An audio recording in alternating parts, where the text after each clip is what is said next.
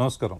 రైతు నేస్తానికి స్వాగతం. ఈనాటి కార్యక్రమంలో పశువుల నుండి మనుషులకు సంక్రమించే వివిధ రకాల వ్యాధులు వాటి నివారణ గురించి గన్నవరం ఎన్టీఆర్ పశు వైద్య కళాశాల assistant professor doctor T Srinivasarao గారు వివరిస్తారు. రైతులు అడిగే ప్రశ్నలకు సమాధానం ఇస్తారు.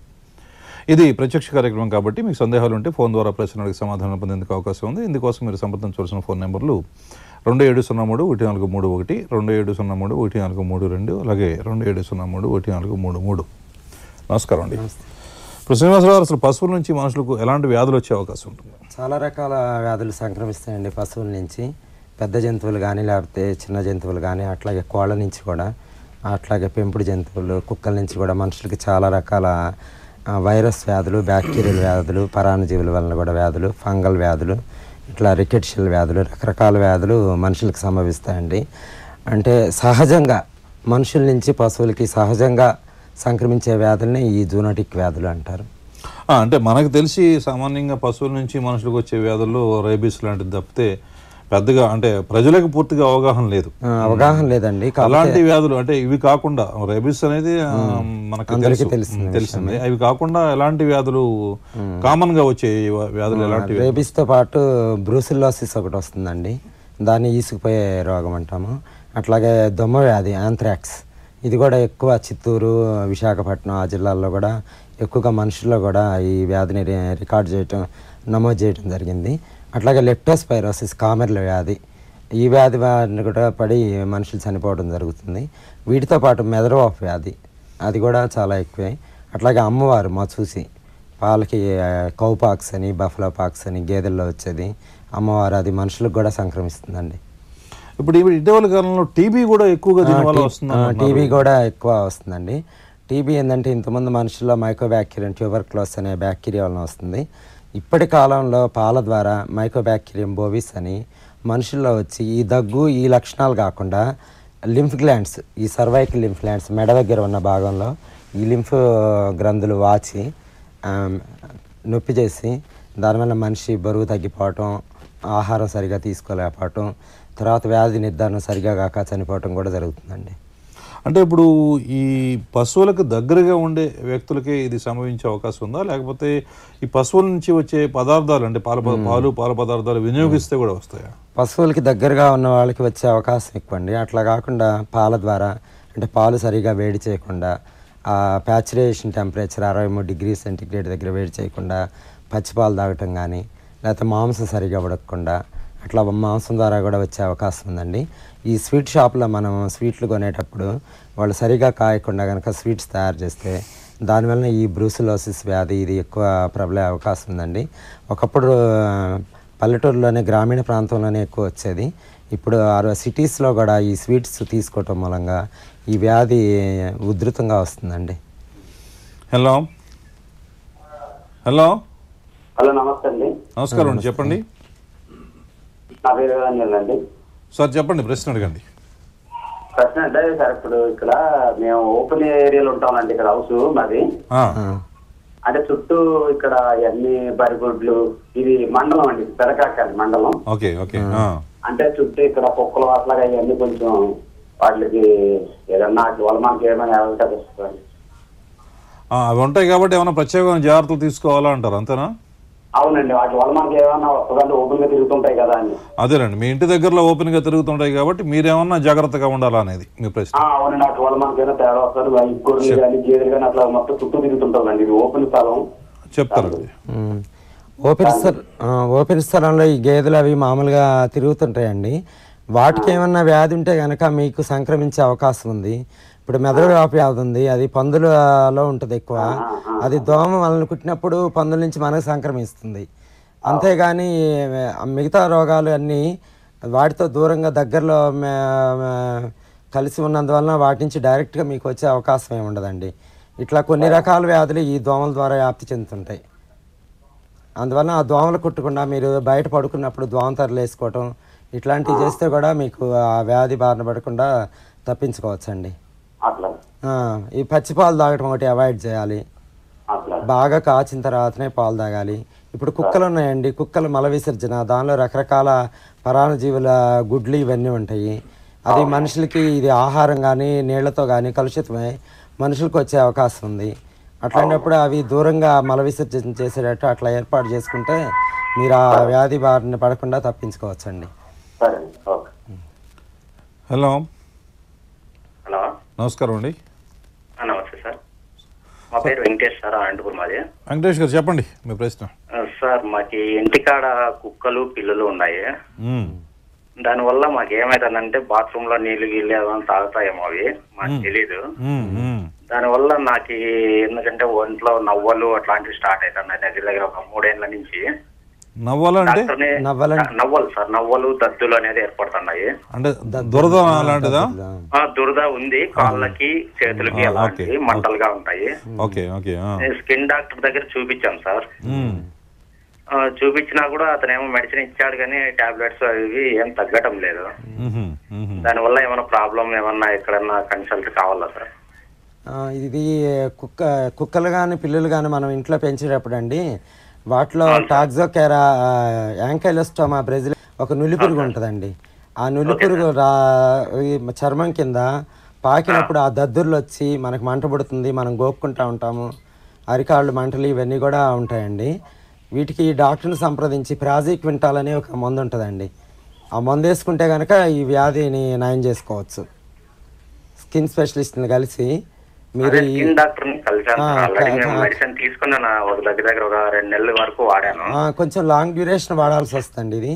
అవునా సార్? అది దానివల్ల ఏదైనా బ్లడ్ టెస్ట్లో అలాంటివి ఏమైనా చేయించుకోవాలి బ్లడ్ టెస్ట్లు చేయించుకుంటే మీకు ఓన్లీ ఇస్నోఫిల్స్ పెరుగుతాయండి. పారాసైటిక్ పరాంజీ వలన వచ్చే రోగం గనక.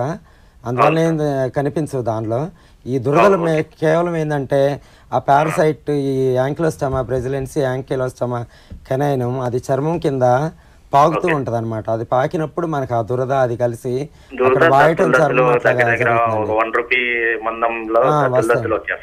వస్తాయండి. తర్వాత ఒక్కోసారి డెర్మటోమైకోసిస్ అని రింగ్ వామ్ ఉంటుందండి తామర. అది కూడా వచ్చే అవకాశం ఉంది. ఆ కుక్కల నుంచి పిల్లుల నుంచి. డెర్మటోమైకోసిస్ మైక్రోస్పోరం కేనిస్ అని దాని వలన కూడా వస్తుంది దానికి యాంటీ ఫంగల్ ఆయింట్మెంట్స్ అవి వాడుకోవాలండి.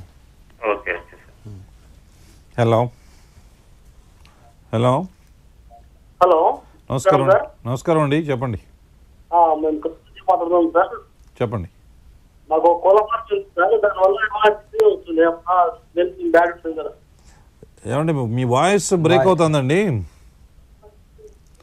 అదే అదే సార్ కోళ్ళ నుంచి ఏమైనా సార్ ఏమన్నా కోళ్ళ ఫారం ఉంది కోళ్ళ ఫారం వల్ల ఏమైనా ఇబ్బంది ఉందా అంటారు అంతేనా? ఆ, ఓకే. అదే దానివల్ల వస్తుందా? చెప్తారండి చెప్తారు. ఇప్పుడు ఈ కోళ్ళ ఫారమ్స్ దాని దగ్గరికి ఇప్పుడు కోళ్ళ ఫారమ్స్ ఉన్న దాదాపుగా అక్కడే ఉంటారు. అక్కడే ఉంటారండి. మరి వాళ్ళకి ఏమన్నా కోళ్ళ ఫారం ఉన్నప్పుడు వాటి నుంచి కొన్ని రకాల జబ్బులు వస్తాయండి.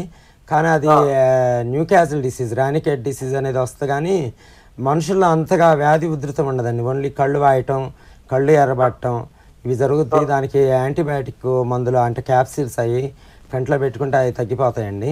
అంతేగాని ఇంకోటి ఆర్నితోసిస్ అని ఒకటి వస్తుంది ఆర్నితోసిస్ అని ఒకటి క్లమీడియా సిటాసి అని దాని వలన వస్తాయి. దాని వలన వచ్చినప్పుడు యాంటీబయాటిక్ మందులు అంటే మనకి జలుబు చేసినట్టుగా ఫ్లూ ఫ్లూ లాగా అనమాట దగ్గు ఇట్లాంటివి ఉంటాయి. దానికి యాంటీబయాటిక్ మందులు వాడుకుంటే తగ్గిపోతుందండి. హలో. నమస్కారం అండి రైతు నేస్తం. సార్ సార్ నమస్తే సార్. చెప్పండి. సార్ ఏం లేదు సార్. ఇప్పుడు ఈ డైరీ ఫార్మ్స్ అనేవి. మన పరిసర ప్రాంతాల్లో అంటే మనం నివసించే చుట్టుపక్కల ఏరియాలలో ఉండడం వల్ల మనకి డస్ట్ ఎలర్జీ వచ్చే అవకాశం ఉందా? పిల్లలు సార్ సెకండ్ వన్ ఏంటంటే చిన్న పిల్లలు ఉంటారు కదా సార్. వాళ్ళకి కంటామినేషన్ డిసీజ్ వచ్చే ఆ ఛాన్స్ ఏమన్నా ఉన్నదా? డైరీ ఫార్మ్స్ వల్ల. ఒకటి ఎలర్జీ రెండు చిన్న పిల్లలకి ఏమైనా జబ్బులు వస్తాయి అంటున్నారు మీరు? యా యా అవును సార్ అవును సార్. చెప్తారండి. ఈ డైరీ ఫామ్ వల్ల అండి మనం ఫీడ్ వేసేటప్పుడు దాని నుంచి డస్ట్ వల్ల కొంతమందికి ఎలర్జీ వచ్చే అవకాశం ఉంది కానీ అందరికీ ఎలర్జీ రావాలని అట్లా ఏం లేదండి. ఈ. చిన్నపిల్లలు కూడా అంటే డైరీ ఫామ్ ఈ చిన్న దూడలతో వాడితే ఆడుకున్నప్పుడు వాటిలో ఎస్కారిస్ లుంబ్రికాయిడిస్ అని ఒక పారసైట్ ఉంటుందండి. ఆ, సార్ ఆ, అది మనుషులకి వచ్చే అవకాశం ఉంది పిల్లలకి. నులి పురుగుల్లాగా అంతేగాని మినిమం డిస్టెన్స్ అంటే మెయింటైన్ చేయాలంటారా? మినిమం డిస్టెన్స్ అంటే చాలా మంది ఫామ్ ఫామ్ దగ్గరలోనే ఒక రెండు వందల మీటర్ల దూరంలో హౌస్ కట్టుకొని ఉంటున్నారండి. ఉన్న ప్రాబ్లమ్స్ ఏం లేవండి అట్లా. అంటే మనం హైజీనిక్గా మెయింటైన్ చేసుకొని అది పేడ అది మలము మూత్రము ఎప్పటికప్పుడు క్లీన్ చేసుకొని హైజీనిక్గా ఉంటే గనక ఇబ్బంది ఏం లేదండి. అయితే సార్ నేను ప్రాబ్లం ఎందుకు అడిగానంటే మా దగ్గరలో దగ్గరలో వాళ్ళు కాంప్లైంట్ చేశారండి. చూస్తుందని చెప్పేసి. అయితే మేము అసలు జనరల్గా ఊళ్ళో పెంచేస్తాం కదా కొంచెం టౌన్ లేండి ఇది. సూర్యాపేట అనేసి ఒక టౌన్లో నల్గొండ డిస్టిక్. వాళ్ళు కంప్లైంట్ చేస్తే కొంచెం ఆరోగ్యం జరిగి ఉండే. అయితే మేము వెటర్నరీ డాక్టర్ పంపిద్దాం అనుకున్నాం లక్కీ అయిపోయినా ఈ ప్రోగ్రామ్ వస్తున్నది. తర్వాత అడుగుదాం అనేసి కాల్ చేశాను. కాకపోతే ఒకటి ఏంటంటే మీరు ఆ మలము మూత్రము పీరియాడికల్గా రెగ్యులర్గా క్లీన్ చేయాలండి. అక్కడ నుంచి తీసేస్తే. ప్రాబ్లం ఎండుగడ్డి వేసే క్రమంలో వాళ్ళు ఇబ్బంది పడుతున్నారు సార్ అంటే కొంతమంది డస్ట్ ఎలర్జీ వస్తుంది ఓకే ఓకే అది, సార్ ఓకే ఆ, సార్ అది అందరికి. రావాలని లేదు అది. హలో. ఆ, నమస్తే సార్ నమస్కారం అండి చెప్పండి. మా ఇంట్లో పెంపుడు పిల్లి ఉందండి. ఆ, అదే మేము కూర్చుని కాడ మా కాడ మంచుల మీద అటు ఇటు తిరుగుతూ ఉంటది మంచాల మీద దుప్పట్ల మీద కూడా ఉంటది. ఆ, ఆ. దాని వల్ల ఏమన్నా ప్రాబ్లం వస్తుందా? ప్రాబ్లం ఏనండి? పెంపుడు పిల్లలు అంటే దానిలో టాక్సోప్లాస్మా గొండ అని ఒక పారసైట్ ఉంటుంది. ఆ, అదేమన్నా అంటే దాని మలం ఆహారంలో కానీ పొరపాటున నీళ్ళలో కానీ కలుషితమై మనం తీసుకున్నప్పుడు ముఖ్యంగా ప్రెగ్నెంట్ లేడీస్లో అబార్షన్ రావడానికి ఆస్కారం ఉందండి. అట్లాగే పిల్లలు కూడా అంటే డిఫెక్టివ్గా మామూలుగా పుట్టకుండా ఈ తల వాయటము కళ్ళు కొంచెం ప్రాబ్లం తోటి పుట్టే అవకాశాలు కూడా ఉన్నాయి. ఈ పారసైట్ చాలా డేంజరస్ టాక్సోప్లాస్మా గొండ అనేది. ప్రెగ్నెంట్ లేడీస్ మీద చాలా ఎఫెక్ట్ చూపిస్తుంది.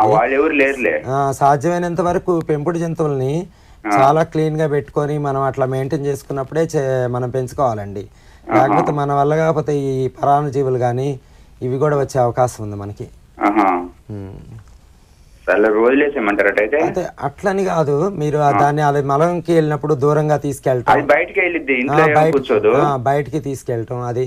ఆ, అది బయటికి వెళ్ళిద్ది. మామూలుగా మంచాల మీద దుప్పట్ల మీద తిరుగుతూ ఉంటది. ఉమ్, అది కొంచెం ఆ, అది మళ్ళీ మలం ఏమన్నా కానీ దానికి ఆ, కాకుండా ఇక్కడే దుప్పట్లు అది బయటికి వెళ్ళిద్ది. ఆ, మీరు దాన్ని నీట్గా పెట్టుకుంటే ఏమవుదండి ఆ. లేకపోతే వదిలేస్తే అది ఎక్కడంటే అక్కడ మళ్ళీ ఆహారం మనం తినే ఆహారం అది నాకినప్పుడు కానీ ఏదన్నా ఇట్లా వచ్చేటప్పుడు కొన్ని రకాల అది మన మన. వాటి ఏమి అనుకోదు. దానికి ఏది సపరేట్ ఒక గిన్నెలో అన్నం పెడతా ఉన్నా తింటది. అది బయటికి వెళ్ళిపోయింది మలవరి చేసానికి దానికి వ్యాక్సిన్స్ అండి. పిల్లి కరిచిన ఇది అట్లాంటి. మనం ఈ వ్యాక్సిన్స్ టీకాలు కూడా వేయించుకోవాలండి రెగ్యులర్గా మామూలుగా మంచాల మీద దుప్పట్ల మీద కానీ ఇంట్లో తిరుగుతూ ఉంటది మా- అది. ఒక్కోసారి గీరుతుంది. గీరినప్పుడు కూడా క్యాట్ స్క్రాచ్ మన దేశంలో లేదు కానీ వచ్చే అవకాశాలు ఉన్నాయి అట్లా గీరినందువలన అట్లా. అందువలన సాధ్యమైనంత దాన్ని హైజీనిక్గా నీట్గా మెయింటైన్ చేసుకొని ఆ మలంకి వాటికి బయటికి తీసుకెళ్ళి బయటకి వెళ్ళిద్ది. సపరేట్గా డిస్పోజ్ చేయాలండి. హలో. రేబీస్ అనేది ఎటువంటి కుక్కలు కరిస్తే నార్మల్గా ఈ వ్యాధి వచ్చే అవకాశం ఉంది? రేబీస్ దానిలో వ్యాధి లక్షణాలు రెండు రకాలుగా చూపిస్తుంది మామూలుగా furious form dumb form. Dumb form అంటే మోగలాగు. ప్యూరియస్ ఫామ్ అంటే కొంచెం ఎగ్జైట్ అయ్యిద్ది అది. ఆ లక్షణాలు వచ్చినప్పుడు అరవటం కానీ అటు ఇటు రెస్ట్లెస్గా తిరగటం కానీ ఆ రెస్ట్లెస్గా తిరిగేటప్పుడు ఎవరు కనపడితే వాళ్ళని కరుస్తుందండి ఆ కరిచినప్పుడు వ్యాధి సంక్రమిస్తుంది ఇప్పుడు డమ్ ఫామ్లో ఉన్నదాన్ని మనం గుర్తించే అవకాశం లేదండి డమ్ ఫామ్ సైలెంట్గా ఉంటుందండి. మనం గుర్తించలేము అంత ఈజీగా. ఈ ప్యూరియస్ ఫామ్లో అది ఈజీగా గుర్తించవచ్చు. ఒక మనిషిని గరిచిన తర్వాత ఈ పిల్లి ఈ కుక్కని మనం అబ్జర్వ్ చేయాలండి. కనీసం minimum one month fifteen days ఇంకేమైనా లక్షణాలు బయటపడి ఇది చనిపోయిందా లేదా? అప్పుడే మనం ఇది పిచ్చి కుక్క మంచి కుక్క అనే నిర్ధారణకు వస్తాము. కాకపోతే కరిసిన వెంటనే ఆ గాయాన్ని ఆల్కహాల్తో కానీ సబ్బుతో కానీ సబ్బు ప్రతి వాళ్ళ ఇంట్లో ఉంటుంది. అట్లాగే ఆఫ్టర్ షేవ్ లోషన్ ఉంటుంది. దాంతో ఆ గాయాన్ని శుభ్రం చేస్తే ఇది హైలీ ఫ్రెజైల్ వైరస్ వైరస్ చచ్చిపోద్దండి. వైరస్ ఫర్దర్గా డెవలప్ కాకుండా తోడ్పడుతుంది. క్లినిక్లోనే చాలా వరకు పోతుంది. చాలా వరకు పోతుంది. ఇప్పుడు మన శరీరంలో ఏ భాగంలో ఎక్కువగా కరిస్తే మనకి ఇబ్బంది ఎదురవుతుంది? అంటే అది మనకి మెడ దగ్గర అంటే తలకి దగ్గర భాగంలో గరిస్తే తొందరగా వ్యాధి లక్షణాలు. ఎందుకంటే ఇది నరాల ద్వారా పైకి వెళ్తుందండి బ్రెయిన్కి వెళ్తుంది. అదే కాళ్ళ దగ్గర గరిచింది అనుకోండి ఇట్ టేక్స్ అంటే చాలా టైం పడుతుంది. అది బ్రెయిన్కి జారాలంటే. మెడ దగ్గర కానీ చెవి దగ్గర కానీ అట్లా కలిసినప్పుడు ముఖం మీద కలిసినప్పుడు చాలా తొందరగా బ్రెయిన్కి వెళ్ళిపోయి వ్యాధి లక్షణాలు బయటపడి మనిషి చనిపోయే అవకాశం ఉందండి. ఈ లోపల మనం ట్రీట్మెంట్ ఇచ్చిన అంటే ఇమ్యునోగ్లోబులిన్స్ దొరుకుతున్నాయి. కమర్షియల్గా ఇమ్యునోగ్లోబులిన్స్ ఇచ్చినా ప్రొటెక్ట్ చేసుకోవచ్చు. కానీ ఒకవేళ వ్యాధి విధృతం ఎక్కువగా ఉందనుకోండి ఇవి ఇచ్చినా కానీ మనకి ఒక్కోసారి లాభం లేకపోవచ్చు. ఇప్పుడు ఒకసారి స్వల్ప విరామం.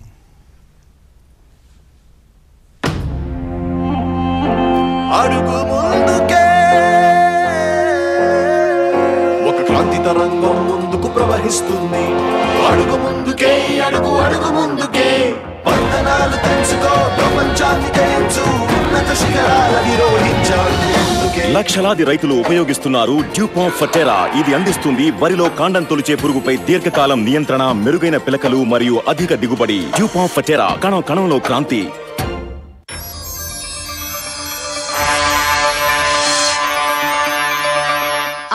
మరియు వ్యవసాయ ఉత్పత్తులకు అణుశక్తి ఒక వరం వంటిది. అధిక దిగుబడి వ్యాధి నిరోధక శక్తి కలిగిన పంటలు మెరుగైన నిలువ మరియు కొత్త ఎగుమతి అవకాశాలు.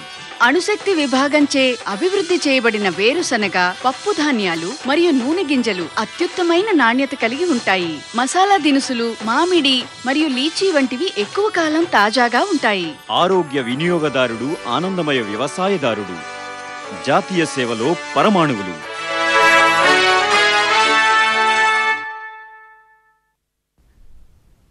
హలో? హలో? హలో నమస్కారం అండి. నమస్కారం అమ్మా చెప్పండి. నేను ఫైట్లూర్ నుంచి మాట్లాడుతున్నానండి నా పేరు ఆయిష. అమ్మా చెప్పండి.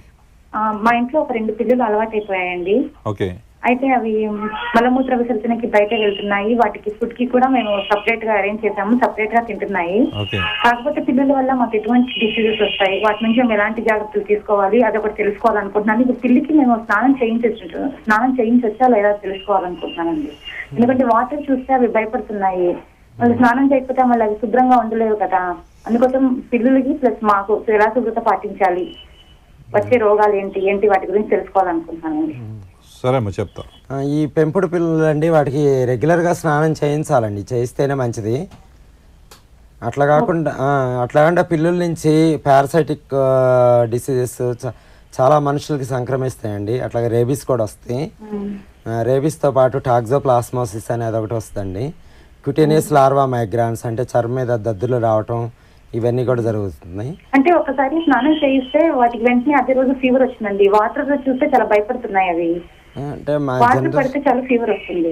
అట్లా ఏముండదండి మామూలుగా జనరల్గా వాటర్ చూస్తే భయపడటం అట్లా ఏముండదు పిల్లలకి. అంటే మాకు తెలిసినంత వరకు అట్లా ఏమి వాటర్ చూసి భయపడిపోవటం అట్లా ఏముండదు ఫీవర్ వచ్చిందంటే మామూలుగా ఏదన్నా వచ్చి ఉంటుంది కానీ దీనికి దానికి సంబంధం లేదండి. అంద అందువలన ఈ రోగాలు రాకుండా మీరు దానికి రెగ్యులర్గా డీవార్మింగ్ ఒకటి చేసుకుంటే కనుక ప్రాజిక్ వింటాల్ అనే డ్రగ్ తోటి అది చాలా వరకు చచ్చిపోతాయండి. ఆ సిస్టులు కానీ పారాసైటిక్ సిస్టులు పరాణజీవుల సిస్టులు ఏమైనా ఉంటే చచ్చిపోతాయి. అందువలన మనుషులకి రాకుండా ఉంటుంది. రెగ్యులర్ డీవార్మింగ్ ఈ రేబీస్ టీకా ఇవి కంపల్సరీగా వేయించుకోండి. హలో. హలో సార్ చెప్పండి సార్. అయ్యా ప్రశ్న అడగండి. అదే సార్ మేము కర్నూలు నుంచి మాట్లాడు చెప్పండి చెప్పండి మీ ప్రశ్న ఏంటి చెప్పండి అదే సార్ కర్నూలు నుంచి మాట్లాడదాం మా ఇంట్లో ఆల్చేసిన డాగ్ ఉంది. ఓకే. అది హెయిర్ ఊడుస్తుంది సార్. ఏమంటే జుట్టు రాలుతుందా? అవును సార్. ఓకే. జుట్టు. ఆ, జుట్టు రాలేదానికండి. దానికి వైటమిన్స్ డెఫిషియన్సీ ఇవ్వండి. ఆ, ఓకే ఆ, సార్. పా- లోపల పారాసైటిక్ బర్డెన్ ఉన్నా కానీ పరాన్నజీవులు దాని వల్ల కూడా జుట్టు ఊడుతుంది. అవును సార్. ఆ ముందు మీరు డివర్మింగ్ చేయించుకొని తర్వాత ఈ సప్లిమెంట్స్ వైటమిన్ సప్లిమెంట్స్ అవి ఇస్తే కనుక జుట్టు పుట్టం తగ్గుతుందండి. హలో. అదే. హలో. నమస్కారం అండి. రైతు నేస్తం. హలో. హలో. నమస్కారం అండి ప్రశ్న అడగండి. సార్ నా పేరు నరేష్ సార్. నరేష్ గారు చెప్పండి. ఈ గేదెలకి నేను గోపాల్ మిత్ర సార్. ఆహా ఓకే. ఈ గేదెలకి ఏ చేసినప్పుడు ఏ నెలకి ఈడ్చకపోతాయి కదా సార్? ఆ, ఆ. అవి ఈడ్చకపోవడం జరుగుతుంది కదా సార్? అవునండి అవును. వాటి వల్ల తీసుకోవాల్సిన జాగ్రత్తలు ఒకసారి చెప్తారేమో దాటి లక్షణాలు అని. అంటే మీరు మీరు ఆ గేదెలను హ్యాండిల్ చేసేటప్పుడు తీసుకోవాల్సిన జాగ్రత్తలు. అవును సార్ అవును సార్. Okay okay. ఇదండి పశువులు ఈసుకుపోయినప్పుడు మామూలుగా బ్రూసిలోసిస్ కానీ లెప్టాస్పైరోసిస్ కానీ క్యాంఫైలో బ్యాక్టీరియోసిస్ వీటిట్లో పశువులు ఈసుకుపోతాయి కాకపోతే లెప్టాస్ బ్రూసిలోసిస్ ఎక్కువ వస్తుందండి మన రాష్ట్రంలో. తర్వాత లెప్టాస్పైరోసిస్ తర్వాత క్యాంఫైలో బ్యాక్టీరియోసిస్. ఈ మూడు ఎక్కువగా ఉన్నాయి దాదాపు ఈసుకుపోయే పశువుల్లో అంటే ఆరు నెలల నుంచి ఏడు నెలల మధ్య లేకపోతే ఎనిమిది నెలల వయసు అప్పుడు ప్రెగ్నెన్సీ అప్పుడు ఈసుకుపోతే కంపల్సరీగా మనం బ్రూసిలోసిస్ సస్పెక్ట్ చేయాల్సి వస్తుంది. అప్పుడు ఏంటంటే ఆ మాయ వేయకుండా మాయ లోపలే ఉండిపోతుందండి. అది చాలామంది ఏం చేస్తారంటే ఈ గోపాల మిత్రులు కానీ ఎవరన్నా చేతికి గ్లౌజ్ వేసుకోకుండా డైరెక్ట్గా మాయా మానంలో చేయబెట్టి తీసేస్తారు. అప్పుడు చేతి మీద ఏమైనా చిన్న చిన్న స్క్రాచెస్ ఉన్నా కానీ హ్యాండిల్ చేసిన పర్సన్కి వచ్చే అవకాశం ఉందండి. అందువల్ల సహజ గ్లౌజ్ వేసుకొని సాధ్యమైనంత వరకు మీరు ట్రీట్మెంట్ ఏమన్నా అంటే ఇంట్రా యుట్రస్లో ఏమన్నా బిళ్ళలు పెట్టి ఆ మా- మాయ పోయేటట్టుగా చూడాలి. ఒకవేళ అవకాశం లేనప్పుడు తీయాల్సి వచ్చినప్పుడు మాత్రం కంపల్సరీగా మీరు గ్లౌజ్ వేసుకొని చేసుకొని తర్వాత ఆ పశువుకి బ్రూసిలోసిస్ ఉందో లేదో కూడా బ్లడ్ కలెక్ట్ చేసి ఇరవై ఒక్క రోజుల తర్వాత మీరు టెస్ట్ చేయిస్తే కనుక ల్యాబ్లో దగ్గరలో ఉన్న అంటే ప్రతి జిల్లాలో యానిమల్ డిసీజ్ డయాగ్నోస్టిక్ ల్యాబొరేటరీ ఉంది. అక్కడ మీరు టెస్ట్ చేయిస్తే కనుక వాళ్ళు బ్రూసిలోసిస్ ఉందో లేదో చెప్తారు. దాన్ని బట్టి తర్వాత మీకు ఏమైనా ఫీవర్ కానీ ఏమైనా జాయింట్ పెయిన్స్ అట్లా వస్తే మీరు కూడా ఆ రక్త నమూనాలు తెచ్చి పరీక్ష చేయించుకుంటే మంచిదండి. చాలామంది గోపాల మిత్రాల ఫీల్డ్లో నాకు తెలిసి కూడా ఎఫెక్ట్ అయి ఉన్నారు ఈ డిసీజ్ తోటి. హలో హలో నమస్కారం అండి Rythu Nestham. Hello. Hello sir నమస్తే సార్. గుంటూరు నుంచి నా నజీర్ సార్ నా పేరు. నజీర్ గారు చెప్పండి. సార్ మా నేను మా ఇంట్లో ఒక పందెం. సార్ నేను మా ఇంట్లో ఒక పందెం కోళ్ళి పెంచుతూ ఉంటాను సార్. ఆ, కోడే. ఏ- కోళ్ళ వల్ల ఏమన్నా పిల్లలకి ప్రాబ్లం వచ్చిద్దా? కోళ్ళ వలన చిన్నపిల్లలకండి? అవును సార్ అవును సార్. కోళ్ళ నుంచి కూడా చిన్నపిల్లలకి రానికెట్ డిసీజ్ అని వస్తుంది అది. కళ్ళు వాయటం ఇది జరుగుతూ ఉంటుంది. అట్లాగే కూడా కొన్ని పరాన్న జీవులు కానీ వాటి వలన కానీ ఆర్నితోసిస్ అని పిల్లలకు వస్తుందండి. కొంచెం జాగ్రత్తగా ఉండాలి. ఆ కోళ్ళని వాటికి మందులు ఇచ్చుకుంటా అది ఏదైనా వ్యాధి సోకినప్పుడు జాగ్రత్తగా ఉంటే మంచిదండి. సరే. ఆ, చెప్పండి. హలో. హలో. ఈ రెండేళ్ళ పిల్లడు సార్ మామూలుగా. కుక్క కరిచిందే సార్ అది? ఇప్పుడు ఒక నాలుగేళ్ళు అయితే సార్? ఏమన్నా ప్రాబ్లం వస్తుంది సార్? అంటే ఇప్పుడు నాలుగేళ్ళు అయింది కనుక ఇప్పటివరకు డిసీజ్ రాలేదంటే ఏమవుదండి అంటే మామూలుగా చాలా మంది ఏంటంటే అప్పుడే కరిసిన వెంటనే తర్వాత పోస్ట్ ప్రొఫిలాక్సిస్ అని ఇంజక్షన్ల టీకాలు ఒక ఐదు టీకాలు కరిసిన రోజు మూడో రోజు ఏడో రోజు పద్నాలుగో రోజు ఇరవై ఒక్కో రోజు తర్వాత ఫైనల్గా ఇరవై ఎనిమిది కానీ ముప్పై రోజు కానీ వ్యాక్సిన్ చేయించుకుంటారు సేఫ్ సైడ్గా. అది కూడా ఫర్దర్గా ఏమైనా కలిసినా కానీ మనిషి వెంటనే ఎఫెక్ట్ కాకుండా రేబీస్ బారిన పడకుండా ఉండేందుకు చేయించుకుంటారండి? ఇప్పుడు నాలుగేళ్ళు అయింది కనుక ఇప్పుడేమి ప్రమాదం ఉండదండి. అదే సార్ తలకు కరిచిందే సార్? అదే రెండేళ్ళు పిల్లోడు అది అందుకని ఇప్పుడు ఈ ఇప్పుడు నాలుగేళ్ళు అయిపోయింది కదా రెండు సంవత్సరాలు. దాటిపోయింది. ఆ, రెండు సంవత్సరాలు దాటిపోయింది కనుక ఇప్పుడేమీ ప్రమాదం ఉండదండి. హలో? హలో? హలో? మా కుక్క హెయిర్ అంతా ఊడిపోతుందండి. హలో? చెప్పండి చెప్పండి. హలో?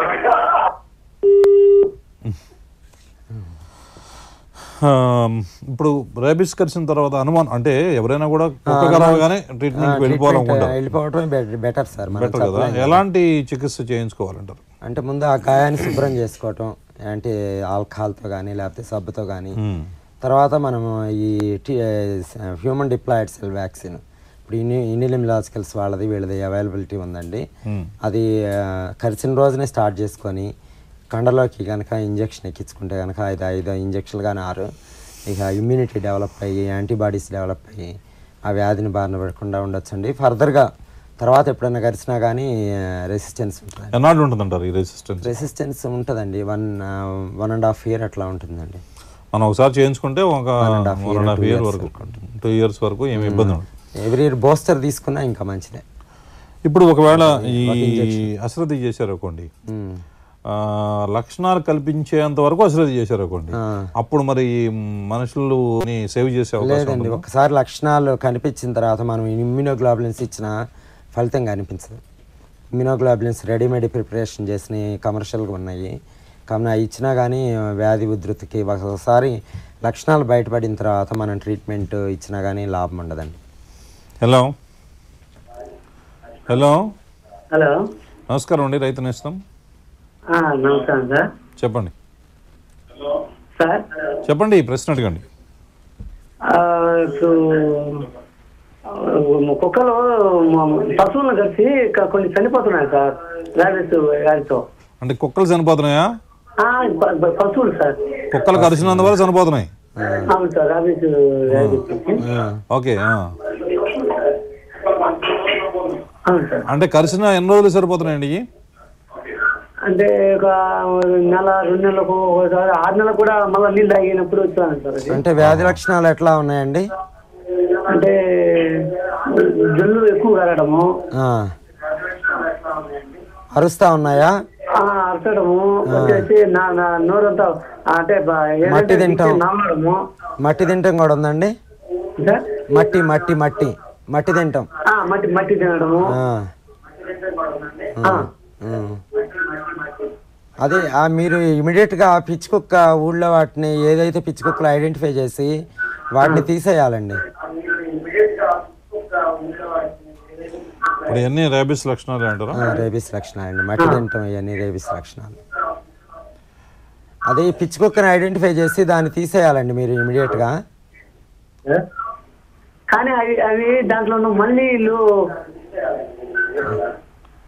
హలో? అవును సార్. చెప్పండి చెప్పండి. చెప్పండి. ఏంటి చెప్పదలుచుకున్నారు? మామూలుగా ఎస్సీలు కోసుకొని తినడం అనేది జరుగుతుంది సార్. అట్లా తింటే ఏమన్నా మళ్ళీ.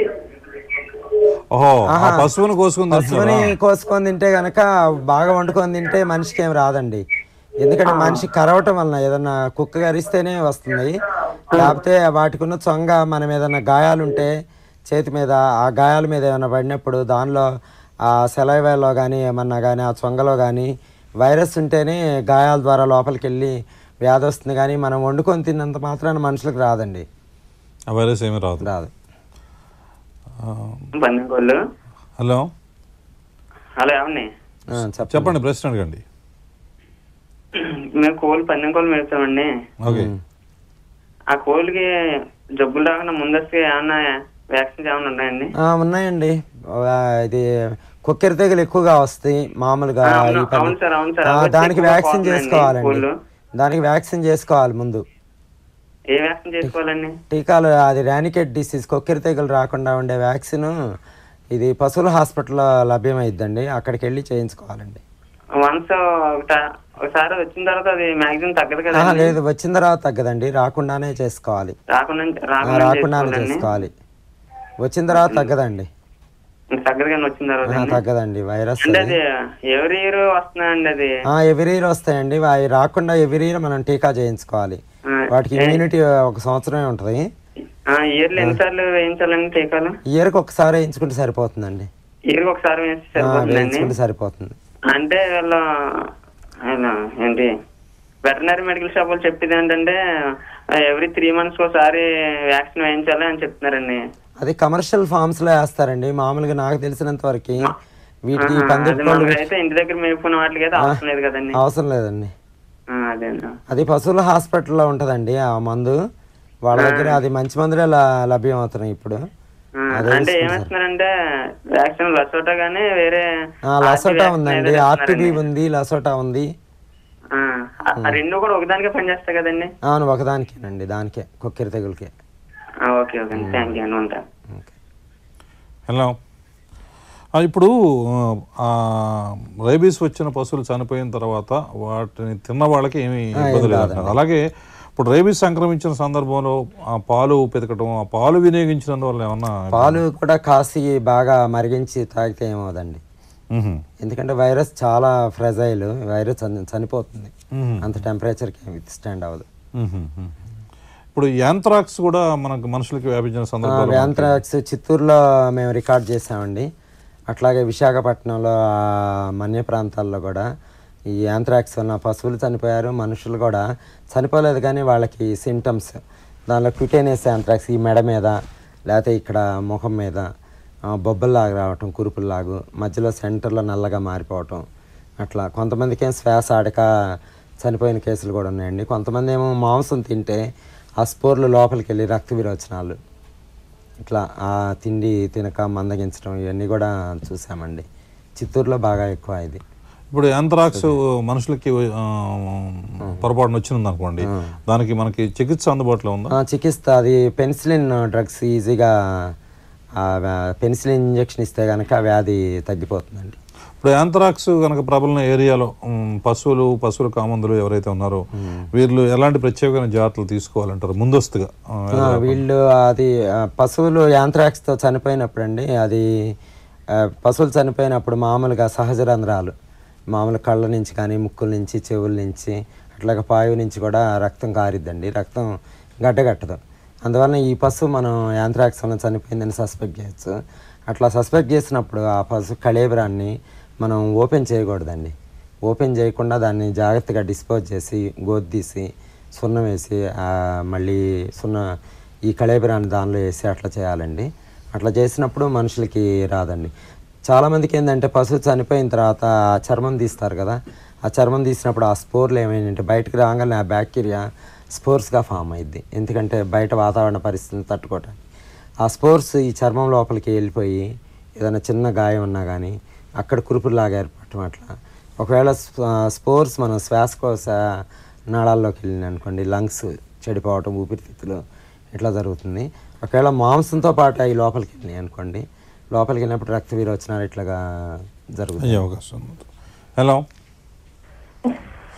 హలో. హలో. నమస్కారం అమ్మా. చెప్పండి చెప్పండి. ఆ, నమస్కారం అండి. నా పేరు లత అండి. చెప్పండి. ఆ, నేను రాజమండ్రి నుంచి ఫోన్ చేస్తున్నానండి. చెప్పండి అమ్మా మాకు పమారియన్ డాగ్ ఉందండి. ఓకే. ఆ, దానికి సిక్స్ ఇయర్స్ అండి. ఆ, అది జుట్టు ఎక్కువగా జుట్టు ఊడిపోతుంటుందండి దానికి. ఆ, ఆ, ఆ. అండ్ దానికి క్రాసింగ్ కూడా ఇవ్వలేదు. క్రాసింగ్ అది ఇస్తే మంచిదంటారా ఇవ్వకపోతే మంచిదంటారండి? క్రాసింగ్కి ఇవ్వండి. జుట్టు ఊడిపోవడానికి క్రాసింగ్కి సంబంధం లేదు. ఈ జుట్టు ఊడిపోవడానికి ఏంటంటే లోపల పారసైట్స్ ఏమైనా ఉన్నప్పుడు కడుపులో జుట్టు ఊడిపోయిద్దండి. అట్లాగే వైటమిన్ సప్లిమెంట్స్ ఏమైనా తక్కువైనప్పుడు కూడా జుట్టు ఊడిపోతుందండి. ఈ వైటమిన్ సప్లిమెంట్స్ ఇచ్చి రెగ్యులర్గా షాంపూతో స్నానం చేయించి ఈ పరాణజీవులు పోవటానికి డివర్మింగ్ చేసుకుంటే కనుక ఈ జుట్టు ఊడిపోవడం తగ్గిపోతుందండి. క్రాసింగ్కి జుట్టు ఊడిపోవడానికి అసలు సంబంధం లేదండి. ఉమ్, అంటే ఇప్పుడు కామెర్లు వచ్చాయి అనుకోండి డాగ్స్కి కామెర్లు వస్తాయి కదా? ఆ, వస్తాయండి. లెప్టోస్పైరోసిస్ అసలు? అది కామెర్లో లెప్టోస్పైరోసిస్ అని లెప్టోస్పైరా క్యానికోలా అని ఒక బ్యాక్టీరియా వలన వస్తుందమ్మా. అదే ఎలా గుర్తించాలి అంటుంది. అది కామెర్లో మ్యూకస్ ఈ కంటి లోపల ఆ మెంబ్రెయిన్ మనం చూసినప్పుడు పచ్చగా అయిపోద్దండి. ఆ పచ్చగా ఉన్నప్పుడు మనం ఇది కామెర్లో సోకిందని చెప్పేసి దానికి సంబంధించిన టెస్ట్లు అవి చేయించుకొని అప్పుడు ట్రీట్మెంట్ ఇప్పించుకుంటే కనుక ఈజీగా తగ్గిపోతుంది అది కూడా. హలో. హలో. హలో. నమస్కారం సార్. నమస్కారం చెప్పండి. అంటే మా గేదెల తొట్లు కట్టాం సార్ నీరు ఉంటాయి ఫుల్గా అందులోను. అది కుక్కలు అందులో నీరు తాగుతున్నాయి కదా వాటి వల్ల గేదెలకి ఇబ్బంది ఉంటుంది సార్? ఇప్పుడు గేదెల కోసమని తొట్టెలు కట్టారంటే. నీళ్ళు నీళ్ళు కూడా తాగినాయి ఆ. ఆ తొట్టులో ఆ నుంచి కుక్కలు కూడా తాగుతున్నాయి. కుక్కలే బయట కుక్కలే వచ్చి తాగుతున్నాయి వల్ల గేదెలకి ఇబ్బంది ఉంటుందా? కుక్కలు తాగినందువల్ల అట్లా తాగినందువల్ల ఇబ్బంది ఏమి ఉండదండి. కాకపోతే మీరు సాధ్యమైనంత వరకు కుక్కల్ని గేదెలు తాగే నీళ్ళని తాగనీయకుండా చూసుకోండి. పెద్ద ఇబ్బంది ఏమి ఉండదు. కాకపోతే మీరు అరికట్టాలి అట్లా. పశువుల నుంచి మనుషులకి సంక్రమించేందుకు అవకాశం ఉన్న వివిధ రకాల వ్యాధులు వాటి నివారణ గురించి చాలా మంచి వివరాలు తెలియజేశారండి. నమస్కారం. అదనపు సమాచారం కోసం శాస్త్రవేత్తను సంప్రదించేందుకు అవకాశం ఉంది. ఇందుకోసం మీరు సంప్రదించవలసిన చిరునామా డాక్టర్ టి శ్రీనివాసరావు ఎన్టీఆర్ పశువైద్య కళాశాల ఆ, గన్నవరం కృష్ణా జిల్లా. ఫోన్ ద్వారానైతే తొమ్మిది ఆరు ఆరు ఆరు ఆరు ఏడు ఆరు మూడు ఆరు మూడు అనే నెంబర్కి ఫోన్ చేసి ఎప్పుడైనా కూడా అదనపు సమాచారం పొందేందుకు అవకాశం ఉంది. పోతే వచ్చే బుధవారం సాయంత్రం ప్రసారం ఏదైతే ఇస్తానో నంజాల ప్రాంతీయ వ్యవసాయ పరిశోధన స్థానం శాస్త్రవేత్త డాక్టర్ ఎస్ నీలిమ గారు వేసవి ప్రొద్దుతిరుగు సాగులో యాజ- సాగు యాజమాన్యంలో మెలకుల గురించి వివరిస్తారు. రైతులు అడిగే ప్రశ్నలకు సమాధానం ఇస్తారు. బుధవారం సాయంత్రం ప్రసారం ఏ రైతు ఇస్తానో తిరిగి మళ్ళీ కలుసుకుందాం. అంతవరకు సెలవు. నమస్కారం.